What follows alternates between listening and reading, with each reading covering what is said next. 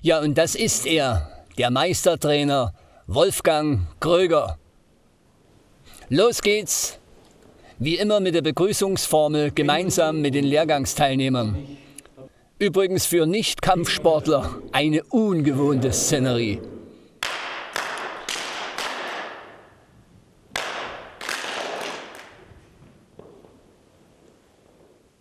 Hier zeigt uns Wolfgang Kröger eine Katama aus gefaltetem Stahl. So ein Gerät kann locker 10.000 Euro kosten. Die Schuhe etwas weniger. Ganz besonders wichtig ist eben in der Kampfkunst, natürlich auch im Kampfsport allgemein, das langsame Üben, um einen hohen Lerneffekt zu erreichen. Sehr viel Aufmerksamkeit wird natürlich auf die Falltechniken gelegt, um Verletzungen vorzubeugen. Hier sehen wir Verhaltenstrainer Joachim Schweitzer und Lamin Dumbia bei ihrem Übungsteil. Ninjutsu ist kein Kampfsport, sondern eine Kampfkunst. Da gibt es kein Falsch, sondern nur ein Anders. Ja, und auch fürs Fernsehen macht Wolfgang Kröger eine gute Figur. Trainer hier vor Ort vorstellen. André C., siebter Dan äh, Goshin Taijutsu und vierter Dan Budo Taijutsu. Dann Thomas Hofmann, ja, auch siebter Dan Goshin Taijutsu und vierten Dan Budo Taijutsu. Und Ronald Schlegel, er hat den vierten Dan Budo Taijutsu und den sechsten Dan Goshin Taijutsu. Wir sind schon sehr lange zusammen und trainieren schon seit, ich denke, seit den 90er Jahren miteinander und wir fühlen uns sehr wohl dabei. Wir sind fast so richtig Budefreunde geworden.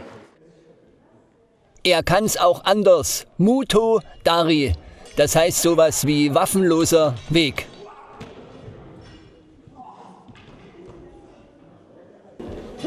Auch hier gut zu sehen die Falltechnik von Patrick Schneider. Das, was hier fast spielerisch ausschaut, gehört zu den schwierigsten Bereichen überhaupt. Saki Jutsu, intuitiv reagieren, wenn ein Gegner unverhofft von hinten angreift. Wolfgang Kröger, es gibt ja eine ganze Anzahl von Kampfsportarten. Gibt es denn auch äh, aus Ihrer Meinung als Großmeister gesprochen eine Kampfsportart, die verschiedene komplexe andere Kampfsportarten in sich vereint oder muss man jede Kampfsportart individuell als etwas ganz Besonderes anschauen? Wie sehen Sie es? Äh, es gibt viele, viele Ähnlichkeiten, äh, auch Parallelen zu anderen äh, Kampfsportarten. Äh, das, was wir machen, dieses Budo Taijutsu, beinhaltet eigentlich viele, viele Elemente, die in anderen Kampfsportarten auch gemacht werden. Mit dem Unterschied, dass vielleicht die eine oder andere Technik etwas anders ausgeführt wird. Ja, zum Beispiel Wurftechniken im Judo sind etwas anders wie unsere Wurftechniken. Aber im, im Grunde genommen geht es eigentlich aufs Gleiche raus. Nun sind ja die Ursprünge der Kampfsportarten weitestgehend im asiatischen Raum zu sehen oder zu suchen. Worauf führen Sie das zurück? Äh, das ist eine schwierige Frage. Äh, nach meiner Kenntnis nach gibt es vieles im asiatischen Raum, aber auch in anderen Ländern, wie zum Beispiel, ich weiß es äh, von Ägypten her oder auch äh, in Amerika hat es auch äh, Kampfsportarten gegeben. Man hat nicht dazu Kampfsport gesagt, eben Verteidigungstechniken. Und ich denke, dass gerade diese, diese Verteidigungstechniken eigentlich weltweit gemacht worden sind. Äh, wenn man im Hintergrund Ihre Zöglinge beim Üben beobachtet, das sind ja technisch schwierige Elemente, die man da so sieht. Da fällt mir ein Sprichwort ein, das Skatspiel und das Singen kann man nicht erzwingen. Gehört auch Talent dazu, um sich solche Fertigkeiten anzueignen? Oder reicht es, wenn man den bedingungslosen Willen hat, wenn man körperlich fit ist, wenn die Trainingsbereitschaft vorhanden ist, um es dann auch zu einer gewissen Größe zu bringen? Ja, eigentlich ist, ist beides richtig. Man kann mit, mit viel Ehrgeiz, mit viel Üben, kann man vieles erreichen. Wenn man natürlich von äh, Natur aus äh, begabt ist oder, oder die entsprechenden Ambitionen hat, dann äh, geht es natürlich etwas schneller und kann man natürlich noch bessere Ergebnisse erzielen. Aber im Grunde genommen kann das eigentlich jeder lernen.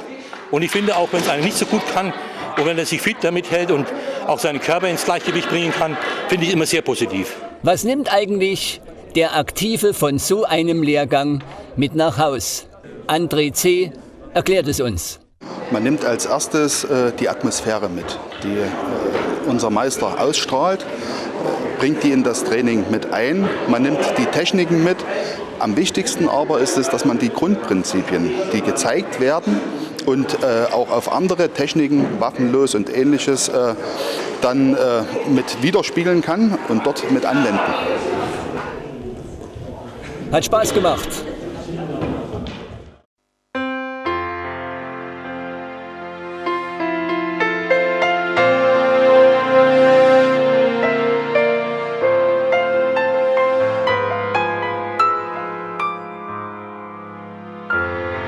Television Zwickau